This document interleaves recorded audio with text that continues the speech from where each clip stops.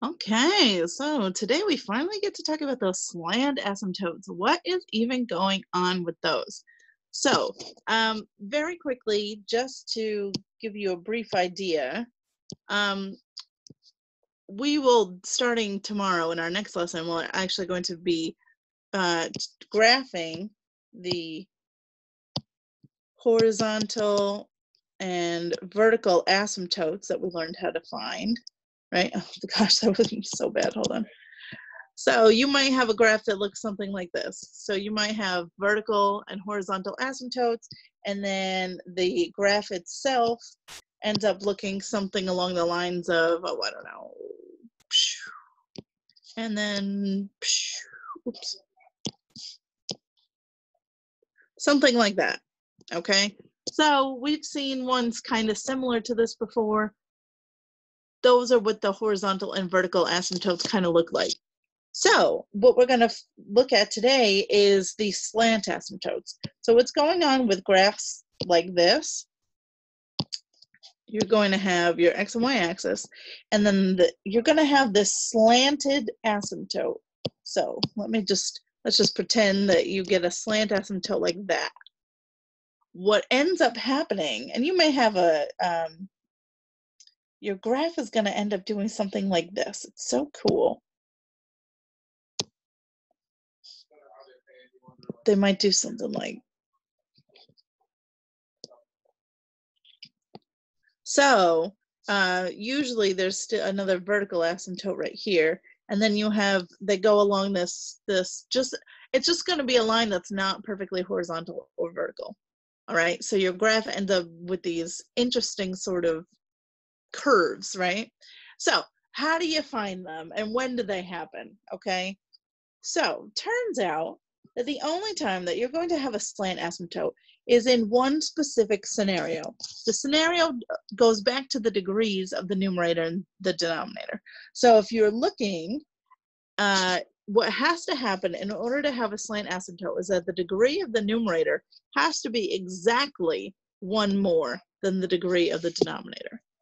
Okay, so it, yesterday we were just looking at if it's greater than or less than. So now this has to be greater and it has to be greater than by one than the bottom one. Okay, so if you look at these five real quick, that's the case for all of them. That's a two, that's a one, that's a three, that's a two, two, one, three, two. Okay, so degree, one more on the top than it is on the bottom. Okay, so how do you find where that slant asymptote's going to be? It's actually a pretty easy procedure. And I'll show you how to do it right now. So let's see if I can, I'm going to try and zoom in enough so I can, yeah, I can probably make this work. Okay, so I'm just going to be looking at number one right here. So I'm ignoring all of this. I'm just looking at number one. All you have to do to figure out where your slant asymptote is, is you're gonna do out this division. Okay, so you're gonna do long division, x plus three divided into x squared minus 6x minus one. Okay, so hopefully you remember your long division, but let's go through it just in case you don't. So I'd have x plus three on the outside, on the inside, x squared minus 6x minus 1. Just double check that everything's written in standard form. If you have any degrees that are missing, remember to replace them with a zero placeholder. Okay, and let's begin. So you ask yourself, what do I multiply x by to get x squared? And the answer is x. So I put an x up at the top, and then I multiply the x times everything out in front. So that would give me x squared plus 3x. However, you need to now come in and subtract that whole thing.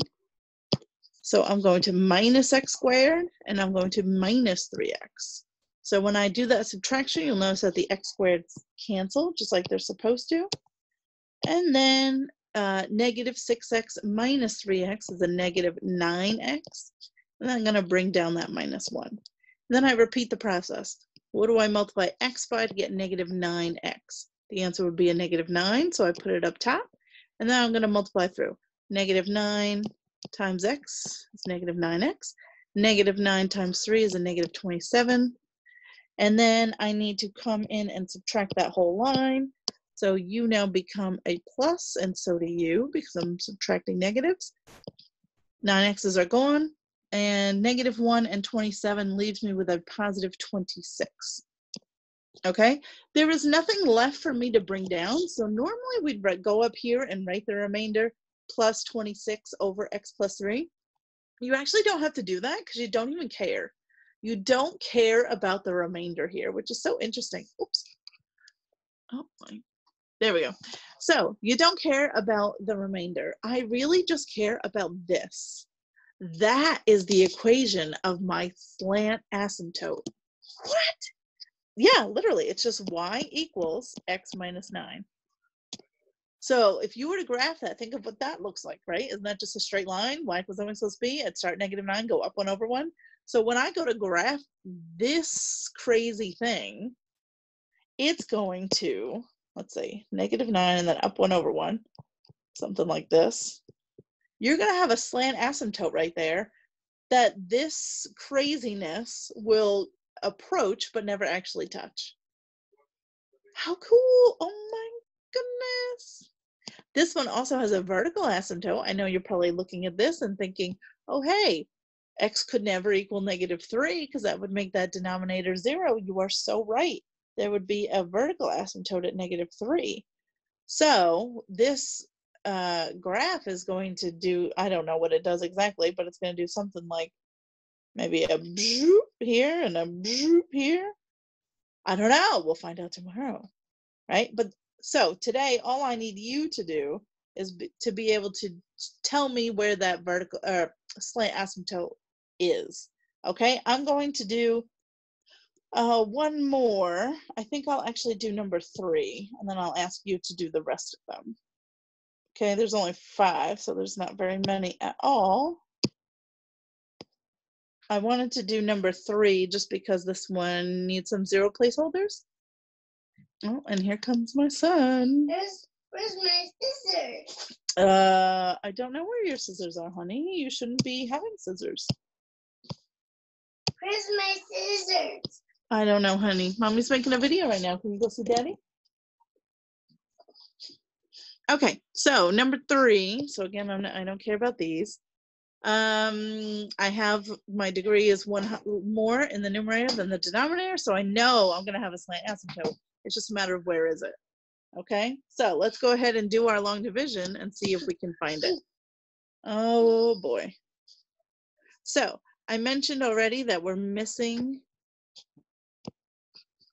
we're missing some degrees, so I'm going to fill them in. So I'd have x squared plus 0x plus 1. And then on the inside, I'm going to have, I don't know if I can fit everything. Sorry, I'm going to I'm going to start over. x squared plus 0x plus 1 on the outside. On the inside, x to the third, I don't have an x squared term, so I need a zero placeholder for it, minus 5x. And then I do want a zero placeholder for my constant. I need everybody. So I need x to the third, second, first, and the constant, x to the zero. I need everybody. So everybody's here now, and so we can begin. What do I multiply x squared by to get x to the third? x. So notice I'm going to put it in the x column because everything here should be x to the third. Everything here should be x squared. Everything here should be x to the first. So that's how I know where to put it. Okay. So I put the x up top and I'm going to multiply by everything out in front. x to the third, 0x squared, and then x times 1 is a positive x. Come in and subtract all of this. So minus, minus, minus. That's gone. Yeah! Sorry. We did it! Oh, good, honey. Negative 5x. Okay, honey. Can you go see daddy? Okay, so anyway, I know that there's zeros and they're weird, but you're still gonna up keep going, just like it was any other number. Earth. You're going to Earth? Ah, the right. Orbit. Orbit. On the moon. You're gonna orbit the moon? Yeah. Oh, good. Okay. Okay, so so sorry guys. So now I'm still gonna ask myself those same questions. What do you multiply x squared by to get zero x squared? The answer is zero. So I'm still going to put um, zero up at the top, multiply it through. I know they're all just zeros. Zero x squared. Oh, and I forgot to bring down the plus zero. See, he got me all confused. Zero x squared plus zero x plus zero. Subtract it all. I get the negative 6x. There's nothing left for me to bring down though. And remember, I don't even care about my remainder. All I care about is what's up here. And I don't need the plus zero because it's just plus zero. So my slant asymptote here is just y equals x. That's it. Okay, so try the other ones. So again, all you're doing is the long division. Oh, you know what? I, I'll help you start number two. I'm just looking at it real quick and that one was a little bit weird. Man, you're gonna have like none left to do on your own. I know you're probably so sad about that. Okay, so number two, it's just weird because of one thing you'll see in a second. So 3x minus 6, and I'm going to divide that into x squared plus 6x minus 4. Okay, so it's weird because of this right here. Everything's in. I don't need any zero placeholders, buddy. Give me two more minutes, okay? What do you multiply 3x by to get x squared? The x is fine, but how do you turn a 3 into a 1? You got to multiply it by a one third. Miller, please, can you give me one minute? Mommy, What? see that? Yes. Those his bones. The bones? Yeah, that is larger bones. Oh, okay. So yes, this you're gonna have to deal with fractions and it just is what it is. But uh, as we do it out, you'll notice it's actually not so bad. So one third times three x is just x squared, right? I get one x squared. And then one third times, uh, one third x times negative six is just a negative two x. Come on in and subtract those two. So that's a minus and this now turns into a plus. That's gone. 6x plus 2x is going to get me 8x. Bring down the minus 4. Okay, and then I do it again. What do I multiply 3x by to get 8x? Hmm. So what do you what do you multiply 3 by to get to 8? If you're not sure, just what do you multiply 3 by to get 8? Wouldn't it just be 8 thirds? Right So I know it's weird, but it's just going to be eight thirds that goes up top, a positive eight thirds. And then this is how you can self check yourself. When you take eight thirds and you multiply it by everything out in front, eight thirds times 3x is 8x. Eight, eight. okay, honey. Eight thirds times six, let's see, that would get me Can I, can I? six, honey, please. That would get me a minus six. He's like crawling on top of me. All right, can you not? I just gotta, you can't hold my hand, so I go. oh so anyway, now you come in and subtract them both. So that's a minus. Wait, wait, wait. That's a plus. That's gone. And I'm left with a 12. But it doesn't even matter because I don't care about the remainder. I only care about well, he's got my pen. I don't have my pen anymore. But it's just what's at the top there. Y equals one third x plus eight thirds. Oh, look, he's coming to draw. This is look at that pretty picture you made. Okay, well, anyway, the answers are at the bottom. Hopefully, uh, you were able to focus more than I was. All right, good luck. Let me know if you have questions, guys. Oh, you want to keep drawing? Okay, real quick. Real quick. Ooh.